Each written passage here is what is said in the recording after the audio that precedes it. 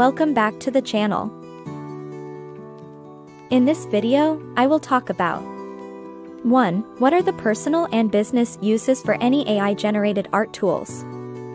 2. What is Blue Willow and how can you as a small business or individual use the free version of Blue Willow to generate AI art? I will also explain how to get started with Blue Willow on your own private Discord server. Third, the benefits of Blue Willow, how does it compare to a paid version like Midjourney? And what are its limitations? I will then dive into the prompt parameters for Blue Willow. Understand what is accepted and what is not, because it differs from Midjourney and Stable Diffusion. Finally, I will play around with the tool and generate some art based on my prompts.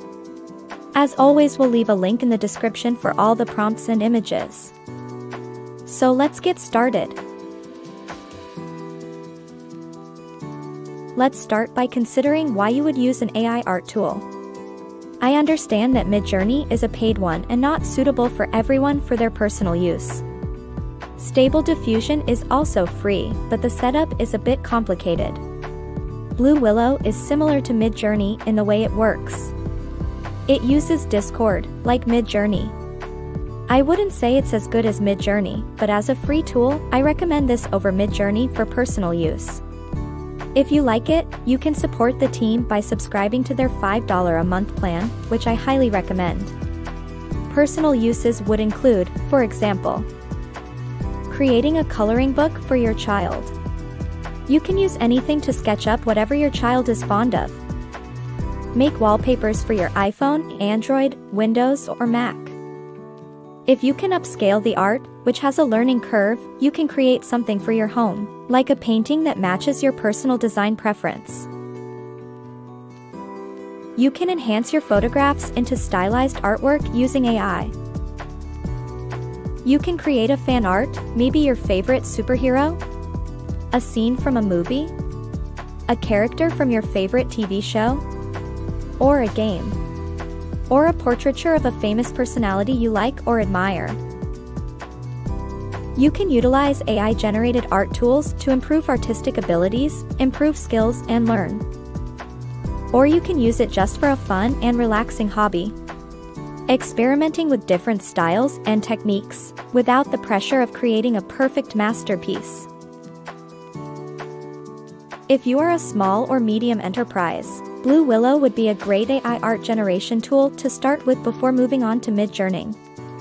Let's quickly review how AI art generation tools could help your business. You can use it for making your graphical advertisements better. AI-generated art can generate design ideas for products such as clothing, accessories, or home goods potentially reducing development time and costs. You can create digital content for websites, social media, or other marketing materials, ensuring consistent visuals to engage your audience. You can use AI-generated art activities as team-building exercises, stimulating creativity and collaboration among your employees. In the education sector, you can create engaging and interactive learning materials for students, such as visual aids, illustrations, or creative problem-solving exercises. There are plenty more uses for generative art tools. I just gave you a small gist of what you can do, especially when using a free tool like Blue Willow. Let's move on. First, go to discord.com. You will need a Discord account and the Discord app installed on your phone or PC. Click on Login. If you already have an account, log in, otherwise, click Register and register an account.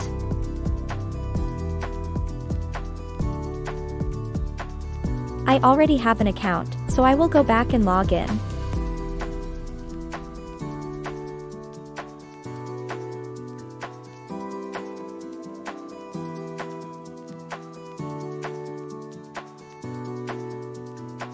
Now go to bluewillow.ai click on Join the Free Beta.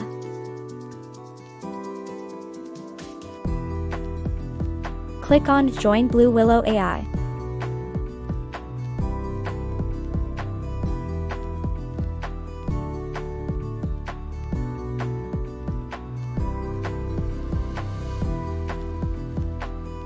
Choose your preferred language.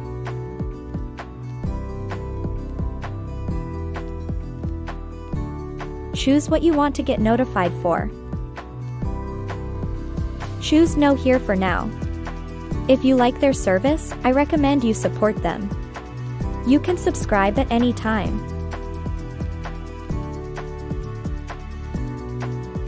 After you click Finish, you have joined their server. I recommend going and reading the rules first, in case you want to use one of their rookie channels instead of your private server to generate art. There are plenty of rookie channels on their Discord server. Whatever you do here is publicly seen. Like Midjourney, you can invite their bot to your server and generate art there. They don't charge for this service as of now. Go to the plus icon and click on it to add a new server. Then click on Create My Own for me and my friends.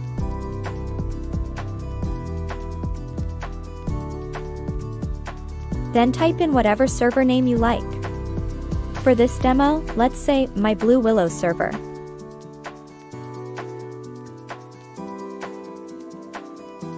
Now you have created your Discord server. Let's invite the Blue Willow bot to your newly created server. For that, go back to the Blue Willow server. On the top right is an icon for Show Member List. Click on it. Right-click on the Blue Willow bot and go to its profile. Here click on Add to Server.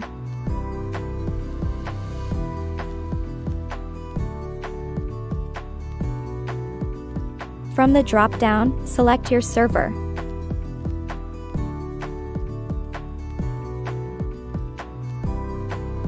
Don't change anything here, and click on Authorize All.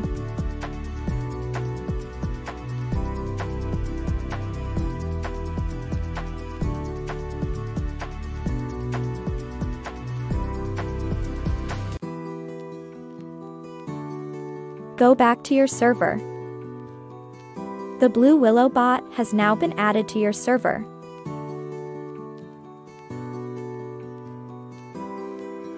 You can now use the forward slash imagine command and put in the prompts to generate the art. Let's try a simple one.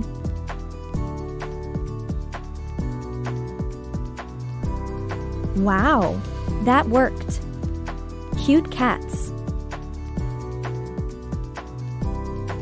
You can organize the Discord by creating different channels and bifurcating the projects instead of putting everything in the general text channel.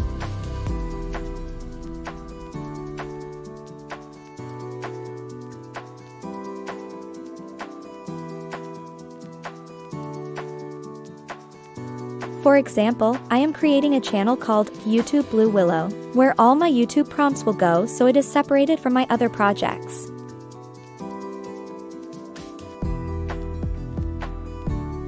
Let's dive into the benefits, limitations, and general prompting guidelines.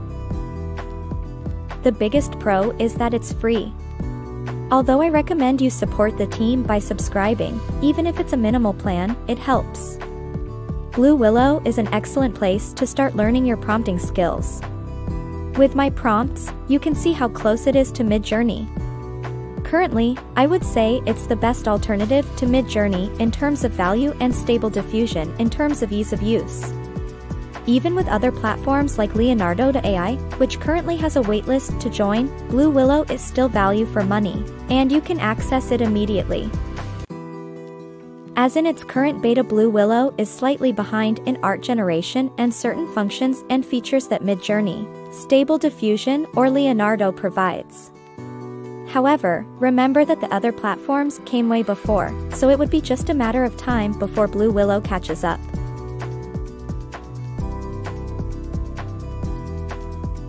Prompting is slightly different in Blue Willow, one of the things like like is that after you upscale an image, you can outpaint it in one direction directly from Discord. Blue Willow has version 1, version 2, and version 3, which is the default. To change the version, you can put dash, dash, v, space 1, 2 or 3 at the end. If you don't input anything, it will, by default, use version 3. With a simple prompt, vector of a cat. You can see the version 1 image. Here is version 2 using the same prompt. And version 3.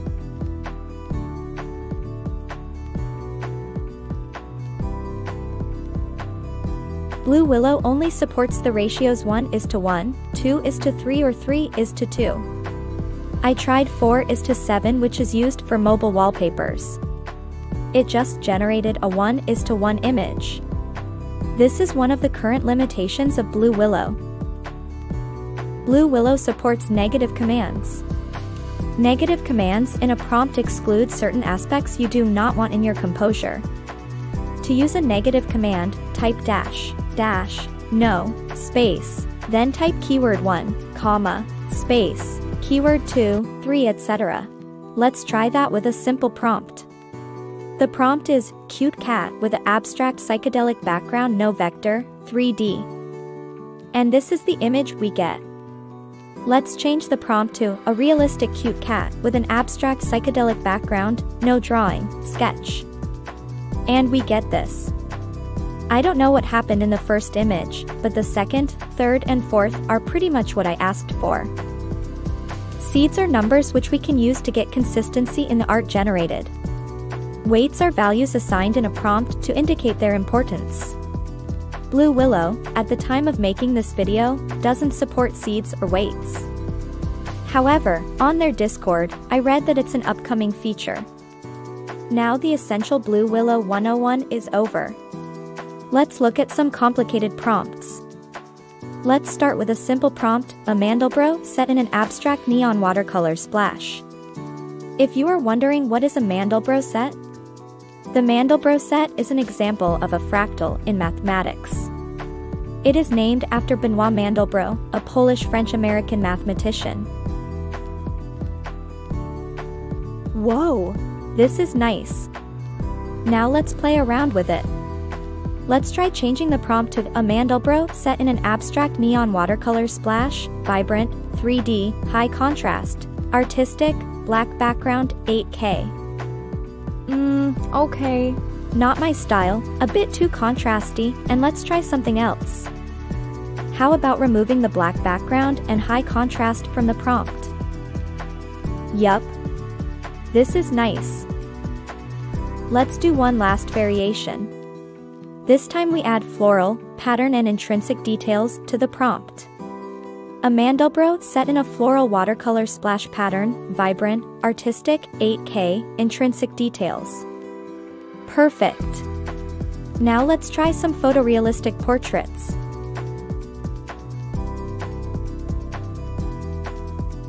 Let's try this prompt, portrait of a male, introspective, serene, worldly, calm, wise, pondering, close-up. Using Sony a9 II, lens focal length 35mm, studio lighting, aperture 1.2, bokeh, day, street photography, San Francisco, 32K, sharp focus, Unreal 5 render, photorealistic. Images 2 and 3 are good. Let's try another one. I was finding it difficult to get the desired results for general photographic portraits so I tried a different approach. I trained ChatGPT with a formula to generate prompts for historical personalities. The first portrait prompt is Studio Portrait Photography of Abraham Lincoln, stoic, dignified, thoughtful, honest, and resilient, close up, using Canon EOS R5, lens focal length 55mm, studio lighting, aperture f/1.4, bokeh, sharp focus, Unreal 5 render, hyperrealistic, high definition, muted saturation, vintage, intrinsic facial details, 32K, AR 2 to 3, no blur, distortion, mutation, 3D, 2D, illustration. Images 1 and 3 are impressive. Let's try the second one. Studio portrait photography of Amelia Earhart, adventurous, courageous, pioneering, independent, and spirited, Close up, using Canon EOS R6, lens focal length 35mm, studio lighting, aperture f/1.2, bokeh, sharp focus, octane render, hyperrealistic, high definition, muted saturation, vintage, intrinsic facial details, 32K, AR2 to 3, no blur, distortion, mutation, 3D, 2D, illustration. The fourth image is impressive.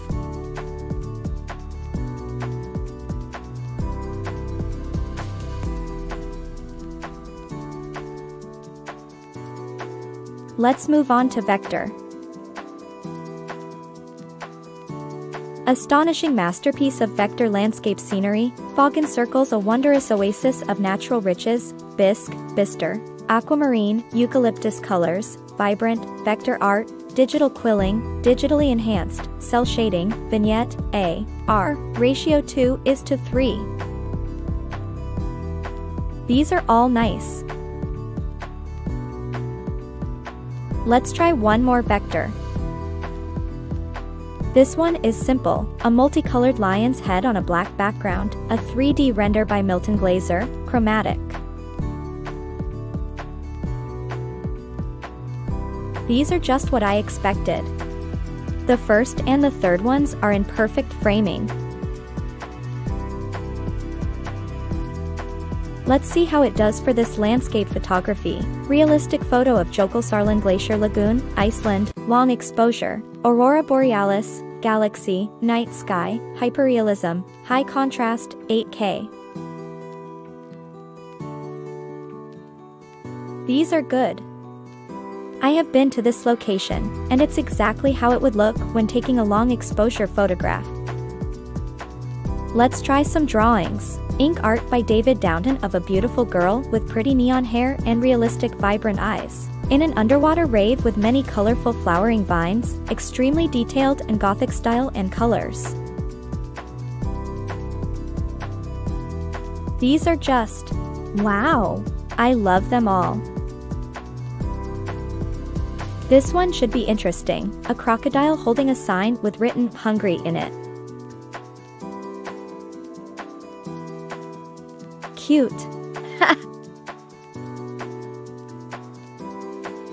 Let's try the last one, a classic Hot Wheels model speeding through an arid landscape of cacti and tumbleweeds. With a dramatic backdrop of a passing thunderstorm, with ray-traced lighting, miniature appearance, and toy camera style, captured in octane for a sharp, photorealistic 32K image. The first, second and third ones are pretty good. To conclude, Blue Willow is worth a try.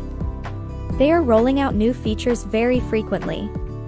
To clear the air, Blue Willow has not sponsored this video, I am just giving my honest opinion. Support them if you can. All the images and prompts will be included in a zip folder on Google Drive. The link will be in the description below.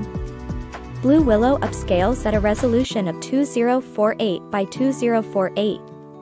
If you want to upscale the images further, check out our previous videos, showing you how to upscale any AI-generated art using Stable Diffusion by 2x to 4x with a free extension.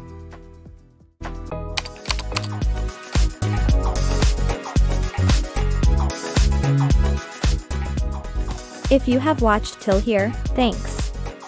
Please, like and subscribe, and hit the bell notification to receive a notification as soon as we upload a new video.